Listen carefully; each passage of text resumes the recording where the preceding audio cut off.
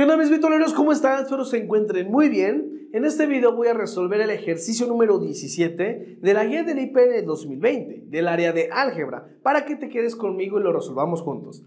Pero antes de iniciar con este ejercicio, te invito a que visites el otro canal que tenemos, Virtual Universitario, enfocado para las áreas de matemáticas y física que se ve en los primeros semestres de universidad. Si te gusta el canal, suscríbete.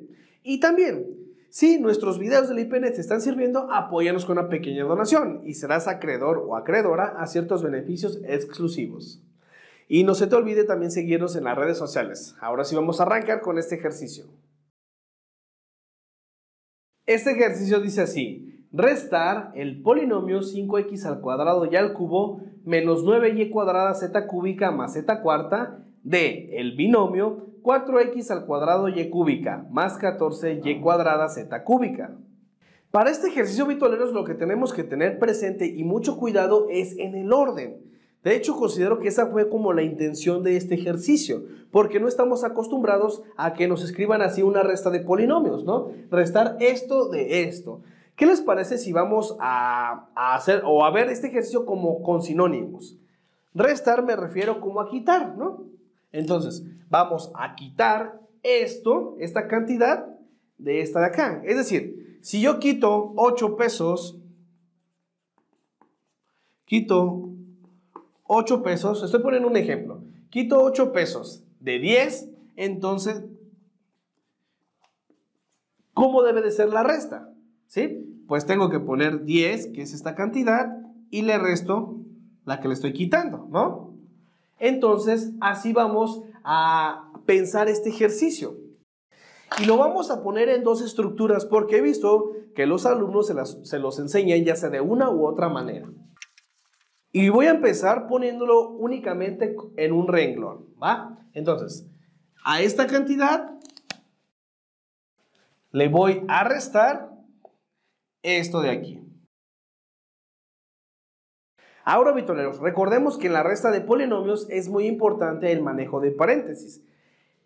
En la primera cantidad o en la primera expresión no es tan importante, pero en la segunda, la que estoy restando, en esa sí, es muy importante poner el paréntesis por este signo de aquí. Bien, lo primero que vamos a hacer es eliminar los paréntesis. El signo que tiene este paréntesis es positivo. Entonces, cuando afuera de un paréntesis yo tengo un signo positivo y voy a eliminar el paréntesis, entonces cada uno de los términos adentro del paréntesis queda igual. Recuerden, solamente cuando afuera hay signo positivo. Y me queda esto. Ahora, viéndolo de otra manera, cuando afuera de un paréntesis y lo voy a eliminar, pero afuera de este yo tengo signo negativo, entonces cada uno de los términos que están adentro del paréntesis van a cambiar de signo. Esto pasa únicamente cuando afuera del paréntesis hay signo negativo, ¿sale? Entonces, 5x al cuadrado y cúbica es positivo. Por lo tanto, aquí voy a escribir menos 5x al cuadrado y al cubo. Este término de aquí es negativo, lo escribo positivo.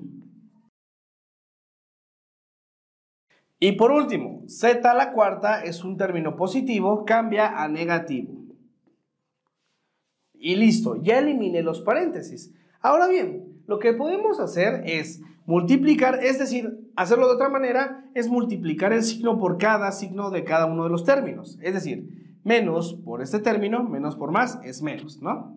Y luego, menos por menos da más, y escribimos el término, menos por más es menos, y escribimos el término. Hay varias formas de hacerlo. Bien, ahí está. Ya eliminé los paréntesis. Ahora lo que sigue es reducir términos semejantes. Recuerden que los términos semejantes son aquellos que tienen las mismas variables, las mismas letras. No importa el orden de las letras, pero cada letra debe de estar al mismo exponente. Eso es importante. Entonces, vamos a empezar. Aquí tengo x al cuadrado y al cubo.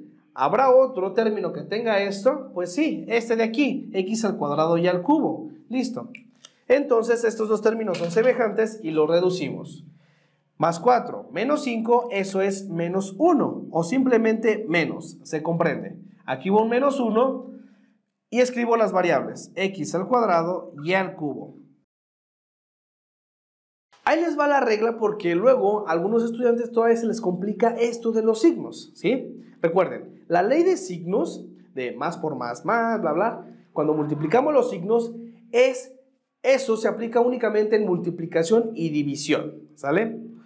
En suma y resta, es decir, cuando estamos reduciendo términos semejantes, allí no se aplica la ley de signos. Allí lo que se aplica es la siguiente regla. Si las cantidades tienen el mismo signo, ya sea que tengan signos positivos o signos negativos, se van a sumar, ¿sale? Y el resultado se le va a poner el signo que tengan esos términos.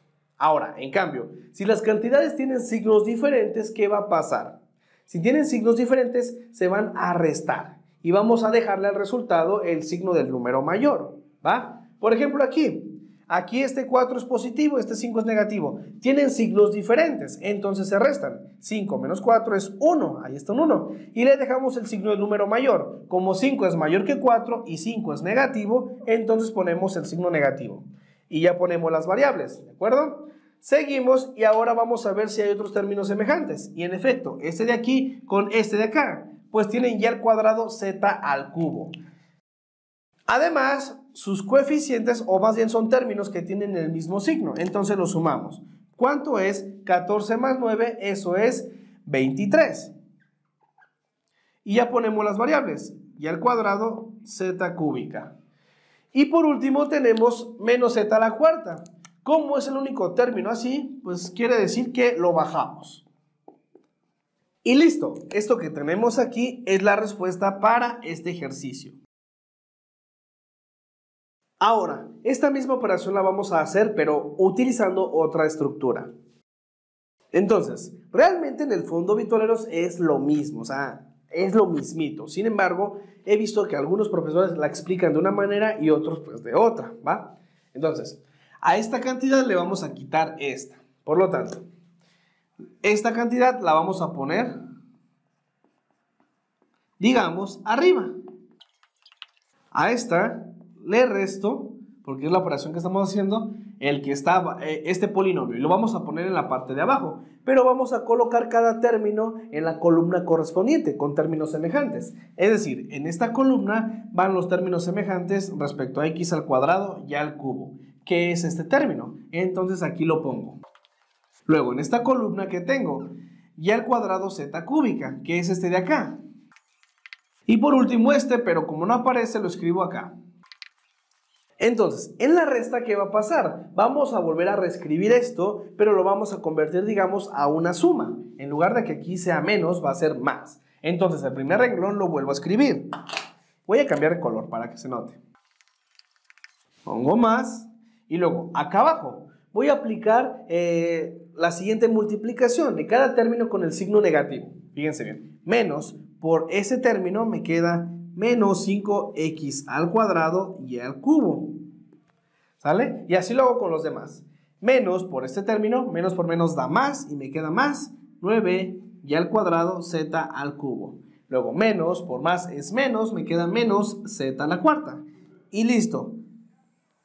Esto de aquí lo transformé, pero ya en una suma.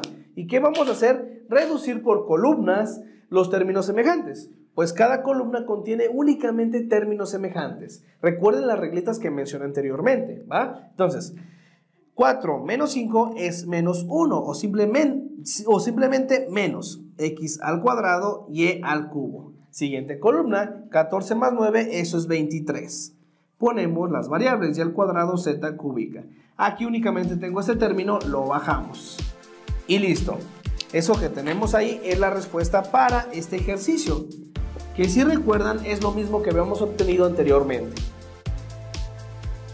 Con esto, vitoleros, pues hemos finalizado este ejercicio. Espero que te haya gustado la explicación. Comparte este video con tus amigos. Cualquier duda o pregunta, escríbenos en los comentarios. Y también, quiero pedirte que si nuestros videos te están sirviendo en tu preparación, apóyenos con una pequeña donación y serás acreedor a ciertos beneficios. Ahora sí ya me voy, recuerden que este es su canal virtual, yo soy Zaret y nos vemos en el próximo video.